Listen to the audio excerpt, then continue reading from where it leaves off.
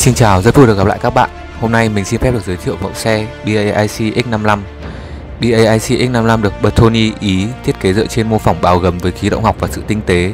Xe sử dụng động cơ 1.5 turbo mạnh mẽ kết hợp với hộp số CVT Pan Powertrain Bỉ đem lại công suất cực đại 150 mã lực, mô men xoắn tối đa 210 Nm. Xe sử dụng hệ thống truyền lực hai bánh, hệ thống lái EPS 3.0 Grab Đức, hệ thống treo trước độc lập MacPherson và hệ thống treo sau độc lập đa liên kết Mira Anh.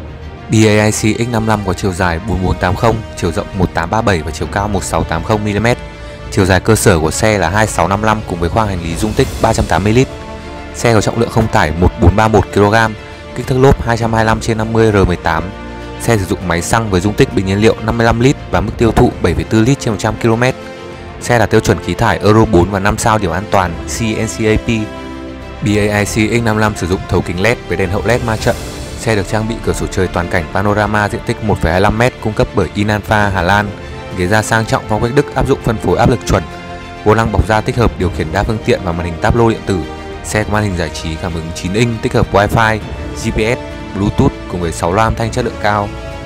Về mặt an toàn, xe sử dụng hệ thống phanh Bose ESP 9.1 với phanh đĩa thông hơi trước và phanh đĩa sau, phanh chống bó cứng ABS, phân bổ lực phanh điện tử EBD, hỗ trợ lực phanh khẩn cấp BA, phanh tay điện tử EPB, cân bằng điện tử ESC, chống trượt và kiểm soát lực kéo TCS, giám sát áp suất lốp TPMS, camera lùi, cảm biến radar, hệ thống mã hóa động cơ, hệ thống báo chống trộm, khóa trung tâm, chìa khóa thông minh, khóa trẻ em, hai ghế trẻ em an toàn ISOFIX, cảm biến tự động chốt cửa khi xe chạy và hệ thống túi khí an toàn.